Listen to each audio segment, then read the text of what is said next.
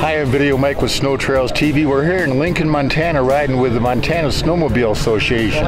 I'm here with Jason Howell, the president of the association. He's going to tell you what we're doing here.